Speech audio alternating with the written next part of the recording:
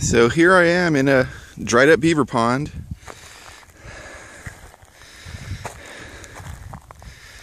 And uh, this would have been a nice, nice beaver pond when there was still water flowing, but this is a drought year, and uh, Cachuma's not releasing anything until they get a request for some uh, uh, water rights uh, downstream from here. They let the water flow, but you know it begs the question: Where do the beavers go? Um, yeah.